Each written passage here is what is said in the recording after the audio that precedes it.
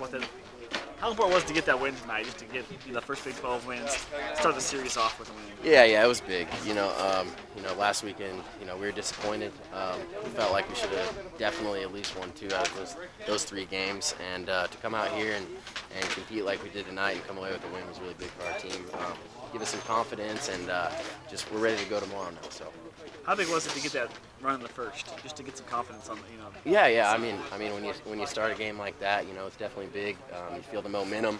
You go out there and attack them in the first inning and let them know, you know, we're not messing around this series. So, uh, yeah, that, that's definitely big. And, and I'm uh, McCain pulling the bat back and slashing. That's a very savvy play.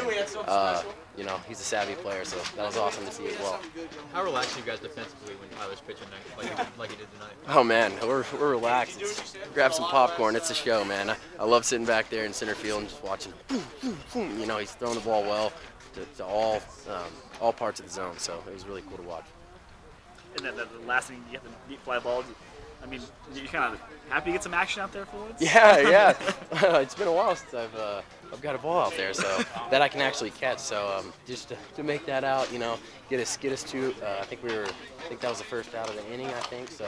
Um, that was big, and um, got the win. So. He was working quick. Yeah. Yeah. So I guess it it must help y'all at the plate.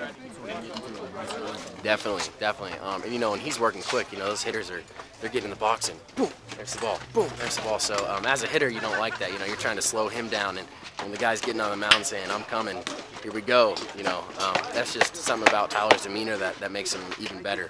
So.